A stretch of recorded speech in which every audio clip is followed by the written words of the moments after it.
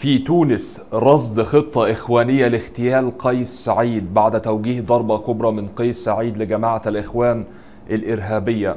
والتغيير الوزاري مصدر حكومي مصري يفجر مفاجأة تنسف جميع التسريبات. مفاجأة كبرى أكبر الاقتصادات العربية في 2021 بننشر لحضراتكم تفاصيل عن ترتيب مصر. في البداية عاوزين نصلي على الحبيب محمد قبل ما نبدأ في تفاصيل الأخبار. اشترك في القناة من زرار الاشتراك الأحمر أسفل الفيديو. ده مهم جدا عشان تجيلكم أهم الأخبار.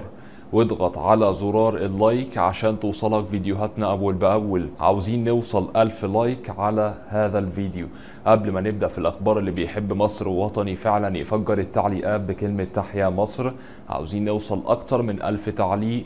مكتوب فيهم تحيا مصر وانتوا قدها وطنيين. نبدأ في تفاصيل أول خبر مهم معانا. تونس رصد خطة إخوانية لاغتيال قيس سعيد بعد توجيه ضربة كبرى منه لجماعة الإخوان الإرهابية.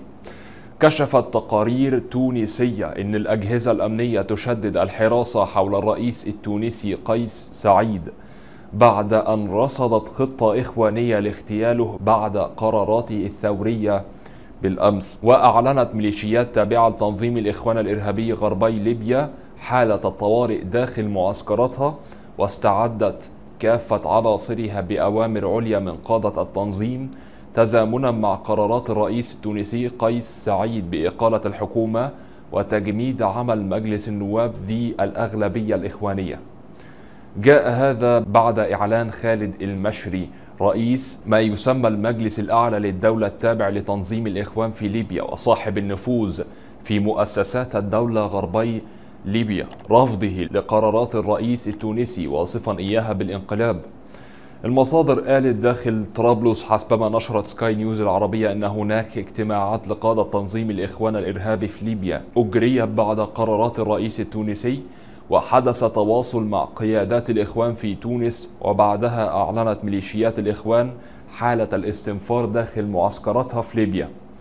المصادر أوضحت أن ثلاث معسكرات تبعد عن الحدود التونسية 218 كيلو متر كانت من بين المعسكرات التي استنفرت عناصرها وأن هناك تحركات تم رصدها للميليشيات تجاه الحدود التونسية. وكان المشري صارع للتعبير على حسابه بتويتر رفضه قرارات الرئيس التونسي التي مست التنظيم المنتمي إليه. وقال نرفض الانقلابات على الأجسام المنتخبة وتعطيل المسارات الديمقراطية حسب زعمه وانتقد الليبيون تغريدة المشري وهاجموه بأشد العبارات على وسائل التواصل الاجتماعي. ووصفوه وتنظيم الإخوان بأكبر المنقلبين على الشرعية في البلاد. في المقابل بارك القائد العام للقوات المسلحة الليبية خليفة حفتر انتفاضة الشعب في تونس ضد الإخوان. حفتر قال نتطلع إلى انطلاق تونس نحو تحقيق أمان شعبها في مستقبل زاهر بعد القضاء على أهم عثر في طريق تطورها.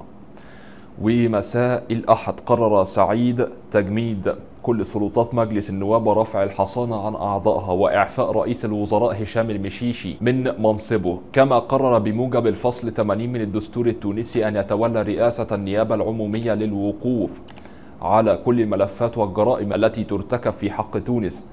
وتولى السلطة التنفيذية بمساعدة حكومة يرأسها رئيس حكومة جديد ويعينه رئيس الجمهورية. وفي كلمة له بعد اجتماع طارئ مع قيادات أمنية وعسكرية قال الرئيس التونسي لن نسكت على أي شخص يتطاول على الدولة ورموزها. وأضاف بحسم من يطلق رصاصة واحدة سيطلق عليه الجيش وابلا من الرصاص. مصدر معانا كان من صحيفة الموجز. ربنا يا رب يسلم تونس وشعبها العظيم. الحر اللي بيدافع عن أرضه وعن نفسه ضد جماعة الإخوان الإرهابية يعني الجماعة اللي ولائها كله للخليفة البجم التركي أردوغان على رأي يعني محمد المصري. أترك لحضراتكم التعليق على هذا الخبر يعني من الواضح جدا إن في خطة كبيرة لاغتيال الرئيس التونسي قيس سعيد من قبل جماعة الإخوان الإرهابية.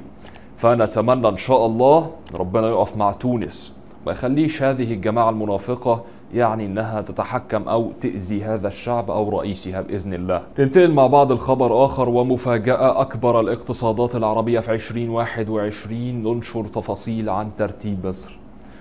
نشرت مجلة فوربس الأمريكية تصنيفا لأقوى الاقتصادات العربية لعام 2021 احتلت السعودية المركز الأول في التصنيف وفقا للتقرير الذي نشرته المجلة مؤخرا فقد احتلت السعودية الصدارة وسط توقعات بوصول ناتجها المحلي الإجمالي بالأسعار الحالية ل 804 من عشرة مليار دولار بنهاية 2021 فيما جاءت الإمارات في المركز الثاني مع تسجيل ناتجها المحلي الإجمالي في 2021 مستوى عند 401.5 مليار دولار. تليها مصر مع توقعات وصول ناتجها المحلي الإجمالي ل 394.3 مليار دولار. اللافت في التقرير إن الإمارات تقدمت في 2021 مركزا واحدا عن تصنيفها للعام الماضي. تقدمت الإمارات على مصر في تصنيف العام الحالي. تراجعت مصر مركزا واحدا إلى المرتبة الثالثة عربيا هذا العام مع توقعات وصول ناتجها المحلي الإجمالي ل 394.3 من عشرة دولار مقابل 361 مليار دولار في عام 2020 طبعا في فرق هائل في تقدم ونمو في الاقتصاد المصري واضح جدا. والمرتبة الرابعة حل العراق بتوقعات وصول ناتجه المحلي الإجمالي ل 190.7 من عشرة مليار دولار. فيما جاءت قطر في المرتبة الخامسة حيث سيبلغ ناتجها المحلي الإجمالي 166 مليار دولار هذا العام. المصدر معانا كان من آر تي. أترك لحضراتكم التعليق على هذا الخبر الهام والعاجل. ما نزعلش إن مصر رجعت ترتيب واحد والإمارات يعني سبقتها. إحنا نفرح إن كان الناتج المحلي في 2020 لمصر 361 مليار دولار. السنة دي 394.3 من عشرة مليار دولار ففي فرق شاسع ونمو واضح وربنا يستر على مصر بإذن الله. ننتقل مع بعض الخبر أخير معانا والتغيير الوزاري مصدر حكومي يفجر مفاجأة تنسف جميع التسريبات. كشف مصدر حكومي مصري مطلع عن تفاصيل جديدة فيما يخص التغيير الوزاري المرتقب أكد أن كل ما يثار حول الراحلين من الحكومة أو الباقين لم يتم حسمه بعد. أشار أن الأسماء التي رشحها البعض للانضمام إلى الحكومة ليست صحيحة. وضح أن الوزراء المرشحون وجوه جديدة لم يسبق أن تم طرحها في وسائل الإعلام وتم اختيارها بعناية.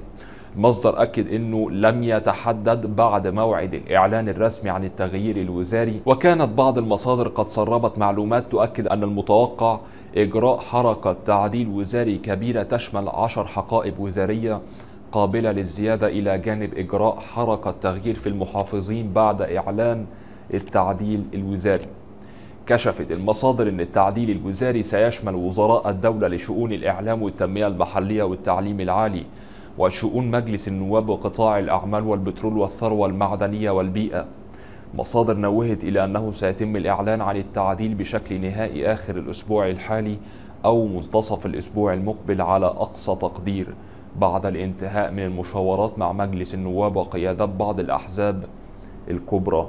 مصدر معانا كان من صحيفة الموجز واترك لحضراتكم التعليق على هذا الخبر. إن شاء الله نتمنى يعني الوزراء الجدد يكونوا على قدر المسؤولية ويحسنوا من نتائج الملفات في الوقت الحالي. نتمنى الخير لمصر ارضا وشعبا وجيشا ورئيسا إن شاء الله. أشوفكم في فيديو جديد وقريب. والسلام عليكم ورحمة الله تعالى وبركاته.